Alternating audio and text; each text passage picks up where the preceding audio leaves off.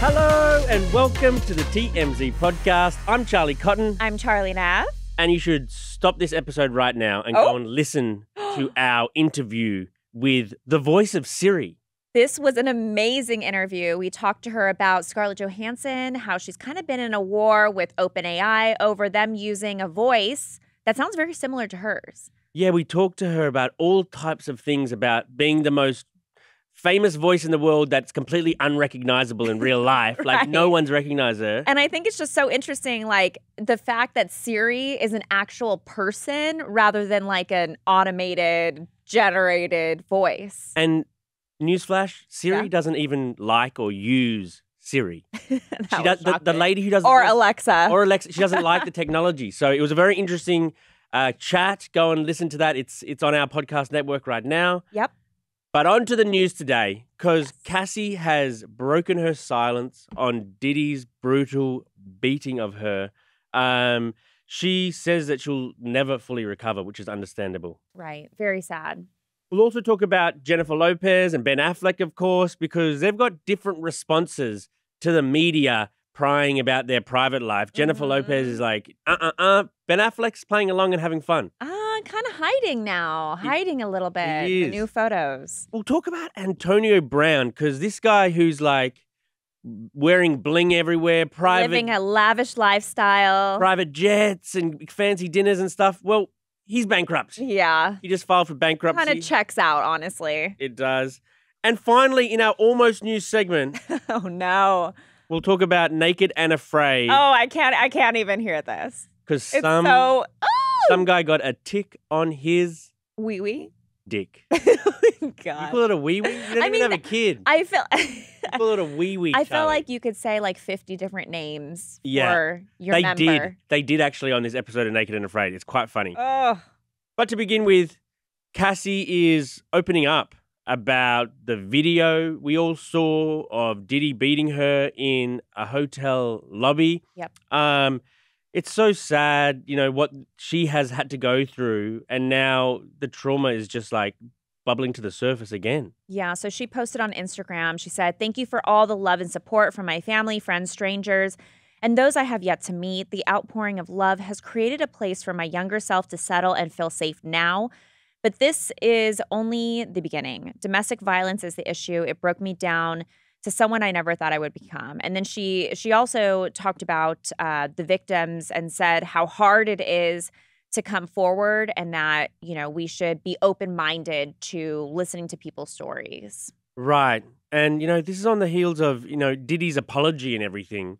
But before that, he had claimed that the allegations. He had done no wrongdoing. these exact allegations about this hotel beatdown, he denied categorically, said it was like a money grab, you know, and now, so this guy's just like circling the drain at this point. Yeah, I mean, there was that other woman, that that model that had filed another sexual assault lawsuit against him. I mean, these are all just stacking up at this point. hmm Um, and then, of course, we had mentioned yesterday 50 Cent has a documentary coming out about Diddy that just landed on Netflix or with Netflix, hasn't come out yet. Um, so it is just piling up and piling up on him. And we haven't really seen him out like being his usual self, like at dinners, parties. Like we've just seen him, like photos of him in Miami, kind of just walking around his little neighborhood and, and laying low. I wonder what the public perception of him would be if he did take a stroll through Miami because when the allegations first surfaced without this video evidence, he was strolling around Miami and he was everyone's best friend. Everyone was screaming and He excited. was kind of like the king of Miami for Right. the longest time. But now that the video surfaced and we have proof of, of some of the things he's done, there's there's more alleged, but we've got proof that some of the things were true. I wonder if he took that same stroll, if the public would embrace him or tell him to, you know, go back to his mansion and sit and think about what he did. It's a good point. But I do think him laying low is very much intentional. Like, even though the photos we've seen of him in his neighborhood, he like looks happy, I think he's trying to lay low because he he's missing big family events. Um, I don't know if you saw his twins. They had their prom over the weekend here, I believe, in LA, and he wasn't there for that. And I feel like if these allegations didn't come out, he would have been there for that. So he's missing out on on big moments with his with his family. It must be hard being those twins and um, women, obviously, and like what their dad's accused of. And I don't know, they've probably seen the video before by now. Maybe they avert their eyes but to be young women and your dad has provably done horrible things to women, yeah. it's a difficult position for someone just graduating high school to be in. Right, and they don't have their mom either. Remember, their their mom had passed away. So all they really have is their dad, well, and each other and their siblings, but yeah, it's got to be very difficult. And another famous person is is in the comment section of Diddy Diddy's apology video. Well, a daughter of one at least, Chaka Khan's daughter, called out Diddy for disrespecting her mum. Yeah, this was out of nowhere. I don't think anyone has ever put like Chaka Khan and Diddy in the same sentence. No. But uh, yeah, Chaka Khan's daughter Indira posted a comment basically slamming him, saying, I'm glad this happened to you. You got in my mother's face and publicly disrespected her, yelling and screaming like a lunatic when my little brother tried to get tried to get you out of my mother's face. Your security jumped my 19 year old brother. So it seems like it happened a long time ago, but I'm sorry, what? We need like more information about this. Well, and, and I mean, just, we might get it now. We, we have reached out uh, to try to get more information. So stay tuned on TMZ.com because we may have updates at some point. But yeah, what happened? I mean, Chaka Khan, she is so beloved. Mm. How do you mm. scream at her? Allegedly, right? Right, right. I wonder if we'll ever hear from J Lo because J Lo was obviously with Diddy for a long time. Right, and, and I saw that's like a big theory as to why her and Ben aren't doing well because all this um, Diddy stuff has surfaced and. She somehow feels like in the loop. Look, we we have not confirmed anything about that specifically, but I did see it's kind of like a big theory online. Right. Speaking of J Lo, J Lo was in Mexico City Love Mexico City. You do? It's the best. Uh, Mexico City's actually this is a bit of a tangent, but oh, Mexico okay. City's actually where that taco stand just got their Michelin star. No way. A taco, like a random taco stand selling $5, $3 tacos. Well, I mean, they have some of the best food there. There's a restaurant called Pujol that's like, I mean, it's like a Nobu. Like it is fancy. It's there's fancy stuff there. But anyway, taco stand? Okay. Anyway, Jennifer Lopez is in Mexico City and she was talking about her film Atlas. Uh, and a reporter asked her about her and Ben. Here's what she had to say. Ooh. ¿qué te pasa? Okay, we're not doing that. Thank you so much, guys. Really appreciate it. Thank you, thank you. You know better than that. Come on, don't come in here with that energy, please. Thank you so much. Simu Liu stepping in to save the day. That reporter got roasted. And then her, co- yeah, her, so the, the star of the movie, Simu Liu, is like, chill, you know what I mean? Just yeah. calm down. I I don't like that he chimed in. I mean, I get what he's doing. He's trying to protect his like co-star, mm. but it's just like here's the thing. She's been to so many different junkets and she did she's done like full on red carpet interviews. Not one person has asked about what's going on with her and Ben. That is the elephant in the room. Yes. And look, when you're on the red carpet, usually the rep of that celebrity will tell you, don't ask about this. Right. And they'll only allow you to do an interview with that celebrity if as long as you agree to the terms. So presumably no one is asking about it because people around her are telling reporters don't ask about this right. even though this is what everyone wants to know so i gotta say kudos to this reporter for possibly going against the grain and still asking about it because the only reason why we're talking about atlas right now is her movie is because this reporter asked about ben and j-lo that's that's very true it, it is good for atlas i suppose but also yeah. when you're a reporter and there's agreed upon terms like when i'm out at LAX about. Does that happen to you too? Do they tell you often, like, don't ask me about this? Often, if I know there's a sort of a really negative story about them that they won't want to talk about, yeah. But I, but there's also like a fun story that I would love to talk to them about. Yeah. Off camera to begin with, I say, hey, I really want to get you on this. I'm not going to ask about that. Can I please have you know two minutes of your time? Because otherwise, they'd just say no because they'd be worried that I was going to ask about the bad thing. So sometimes it's a bit of a negotiation where if you want your clip, your soundbite, Mhm. you got to play on their terms. And in this instance, I think the reporter sort of like wanted to be a bit devious and get around the prescribed terms. Yeah. Uh, and yeah, Jennifer Lopez was not happy about it. Oh, no, not at all. And look, I get at the same time, like, celebrities do have a right to their personal life and their privacy and not having to re- reveal that. But I mean, it, it's so hard to ignore that when everybody is talking about like them living in separate homes and he's wearing his ring one day and he's not the next day. Like, she could have at least been like, you know, I just don't want to talk about that right now. But instead, it was like, shame on you. I don't Well, know. we'll never know if Ben is wearing his ring today because Right.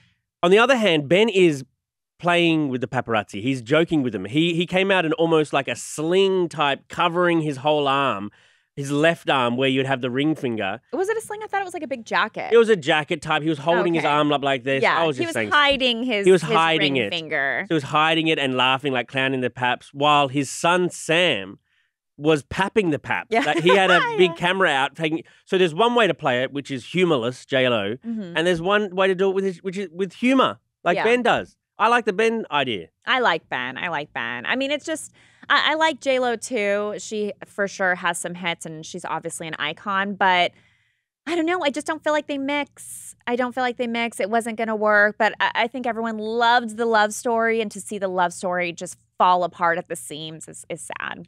Okay, on to our next story. Antonio Brown is filing for bankruptcy. He owes nearly $3 million to eight creditors, Woo! which is crazy because he earned $80 million during his 12 year NFL career. And now he claims to have less than $50,000 in assets.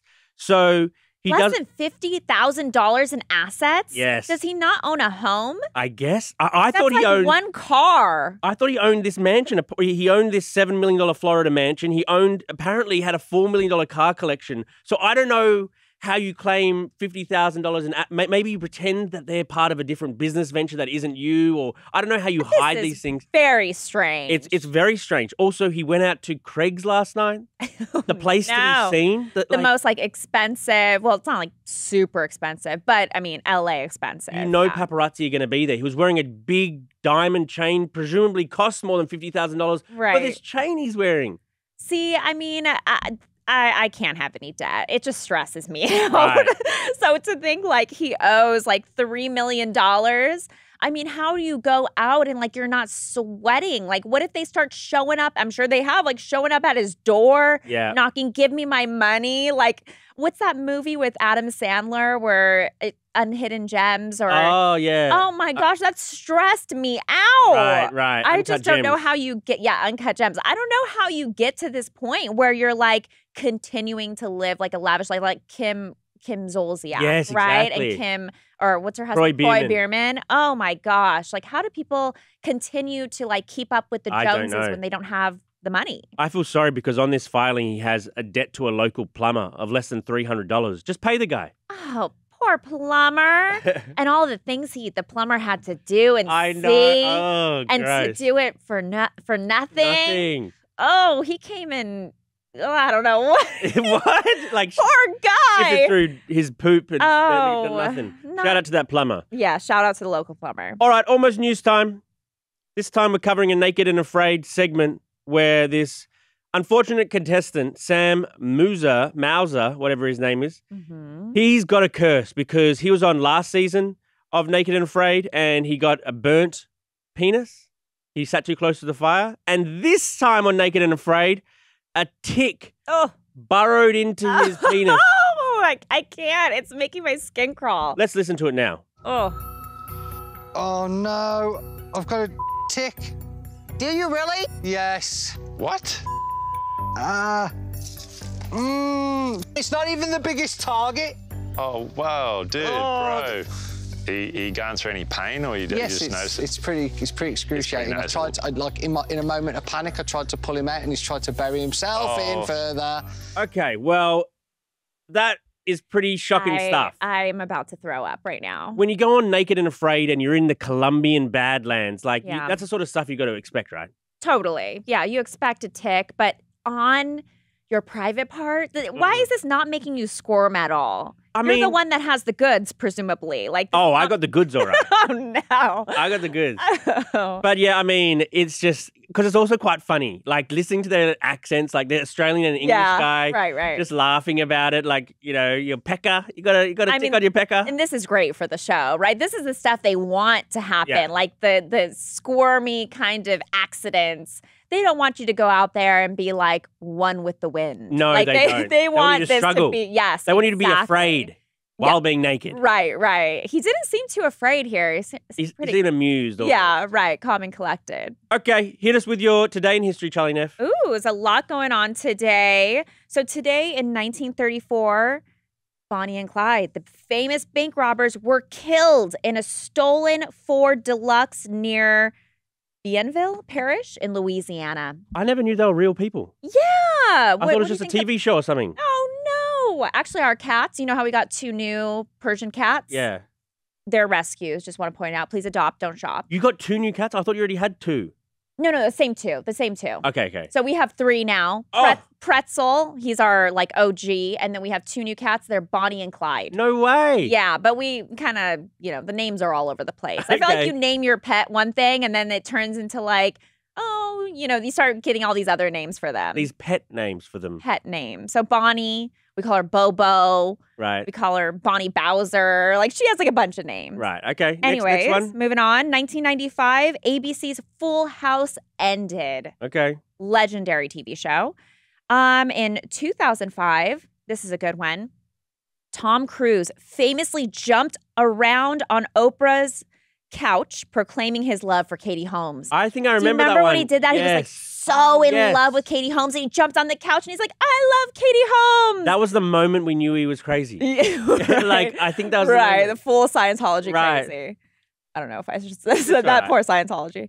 um, and then lastly, in 2007, Jordin Sparks won American Idol season, season six. Ah, it's been that long. I know. Can you believe that? I know. 2007. Those were good years. They right were. there. She's actually rumored to be one of the new Katy Perry replacements. No way. Yeah. I could see that happening. She's putting her hand up, um, like saying, "Pick me." oh, wow. Yeah. Do you think they're going to go with Jelly Roll, though? Because that's also the rumor, right? Could be Jelly Roll. Jon Bon Jovi's in the mix. Oh, Meghan okay. Trainor's in the mix. wow. Wow. What about Charlie Cotton? Are you in the mix? I'm in the mix.